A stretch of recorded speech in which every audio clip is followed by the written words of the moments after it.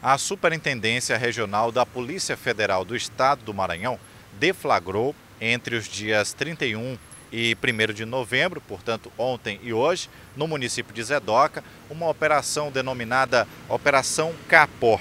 O objetivo dessa operação foi de fazer cessar a extração ilegal de madeira das reservas indígenas desse município, assim como paralisar e interditar serrarias de grande porte e também um pátio de depósito de madeira que funcionava de forma clandestina, sem autorização de nenhum dos órgãos de fiscalização do meio ambiente. Essa operação foi deflagrada com apoio do IBAMA, da FUNAI, do ICMBio e também da Polícia Militar do Estado. Essa é uma investigação que teve início ainda nesse ano de 2018 e indiciados foram por crime ambientais, furto de madeira, receptação e formação de quadrilha. Pelo menos sete pessoas foram presas.